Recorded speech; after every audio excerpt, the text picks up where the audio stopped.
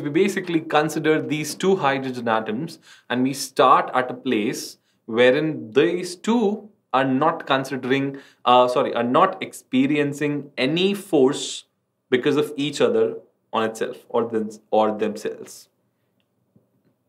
Right? So if they are not experiencing any force, right, theoretically, right, practically, uh, uh, we'll discuss about that. Just wait a minute. Theoretically, let's say they are not experiencing any force on each other. So we know that force essentially is equals to K Q1 Q2 by R square, right? So if theoretically they are not experiencing any force on each other, right? If they are not experiencing any force on each other, then theoretically, right? If this is zero, then this has to be theoretically infinity, right?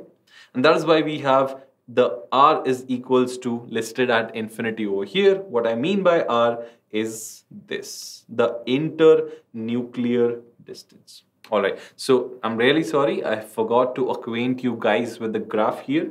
On the y-axis, we have potential energy. On the x-axis, we have internuclear distance. Now, what does inter mean? So think about inter-school competitions. Sorry, uh, inter-class competitions, right? So remember this an inter-class competition. Think about like a dramatics inter-class competition, in, uh, inter-class competition between two or three or more classes. Or think about the school fest where you have to set up a stall, a food stall, a gaming stall, or some other stall, right? Between classes. Think about that. So inter-class competition is an intra-school competition, right? Think about it. Inter-class competition right? Or you can say that uh, inter-student competition within a particular class can be called as intra-class competition. Within a class, students are competing against each other. So inter-student competition, intra-class competition. So inter-nuclear distance means the distance between two nuclei. We are starting from a distance where they are not experiencing any force on each other right? So theoretically, the distance turns out to be infinity. Practically, the distance is not infinity, but we do not need to go into that. We, in our syllabus, in the 11th, 12th, and JEE syllabus, we consider the theoretical case only. So what is happening? We are bringing them closer. There is a net attractive force.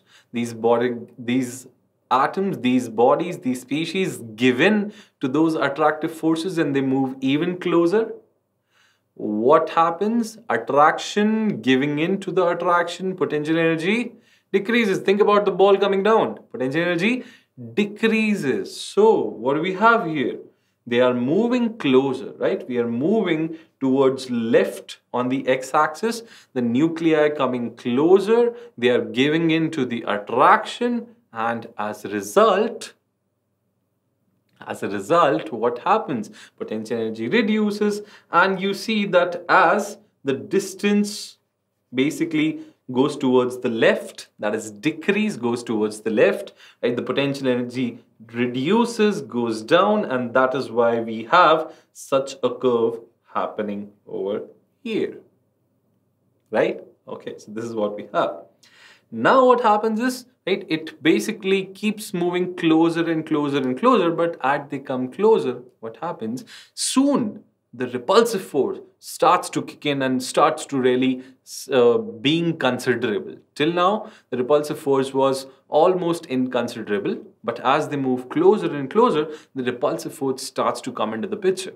And now, beyond this point, if we move them further closer to each other, right? What happens? Slowly, slowly, the repulsive force, right? Now, as we move them closer, attractive force is increasing, right? But now what is happening is repulsive force is also increasing, but the rate at which the repulsive force is increasing, the rate at which the repulsive force is increasing is more than the rate at which the attractive force is increasing, right? Is more than, right? This repulsive force right? This attractive force. So this is increasing at a higher rate as compared to the attractive force, the repulsive force. And so there comes a point of time wherein after be, be, making them come closer and closer and closer to each other hypothetically, right, what turns out is that there comes a point of time wherein the attractive force balances the repulsive force. So there is no net attractive or net repulsive force. The net force is zero, right?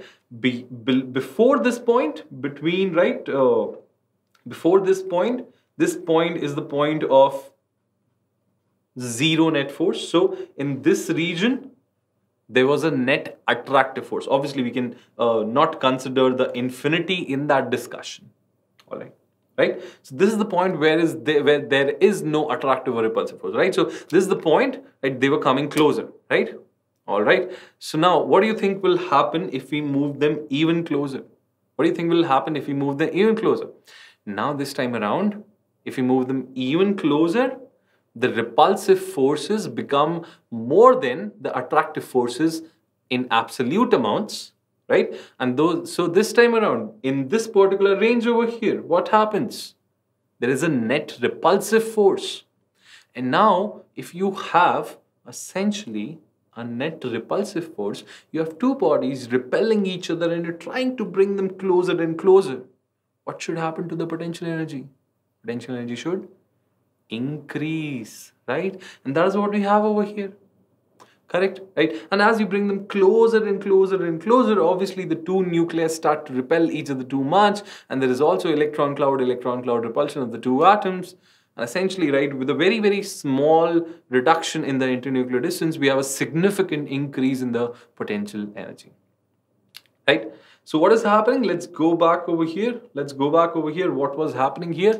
Right, we are bringing them closer, closer, attraction, bringing them even closer, attraction, bringing them even closer. Repulsion starts to kick in, right? Repulsion starts to kick in. Now, what is happening? The net attraction force is still there but the net attraction value, right? The net attraction force is still there, right? This is the attractive force, this is the repulsive force. The net attraction force is still there, but if we bring them even closer, the gap starts to reduce and there comes a point of time where the two atoms are neither attracting each other, neither repelling each other. Basically, they are stuck together at this point of time and this is what we called as the chemical bond and essentially this is this internuclear distance here is termed as the bond length, right? So this 74 picometers here turns out to be the bond length in the H2 molecule.